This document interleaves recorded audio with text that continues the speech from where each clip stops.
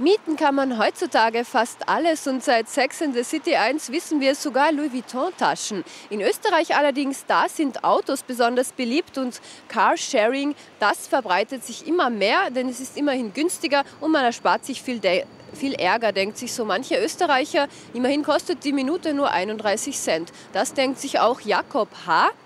Und er wundert sich dann allerdings im November, als er plötzlich 25.000 Euro auf seinem Carsharing-Konto aufscheinen sieht. Denn so viel ist er nun wirklich nicht gefahren. Er wendet sich sofort an das Kundenzentrum und hier sagt man, das ist ein Systemfehler. Das Geld wird ihm sofort oder die Summe wird ihm auf seinem Konto sofort gut geschrieben. Und Jakob H., der glaubt, es ist dabei be bewendet und dann im Jänner allerdings, da gibt es eine böse Überraschung, denn da wird doch tatsächlich versucht, diese Summe von seinem Konto abzubuchen.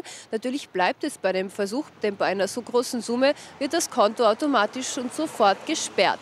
Seither muss sich Jakob H. nicht nur mit dem Carsharing-Anbieter herumstreiten, sondern auch mit seiner eigenen Bank ärgern. Er muss seine Bonität erneut nachweisen und er muss belegen, dass die Rechnung nicht von ihm stammt und dass es ein Irrtum ist.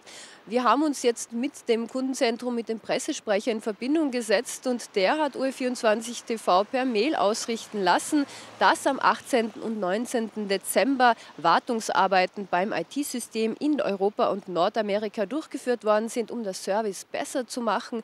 Und bei, diesem, bei dieser Wartungsarbeit, da kam es zu einem Fehler und da wurden eben fälschlicherweise Mietdauern zu einzelnen Autos falsch berechnet oder falsch zugeordnet. Und man hat auch hier auch in Aussicht gestellt und versprochen, dass man die betroffenen Kunden hier mit Freiminuten entschädigen möchte.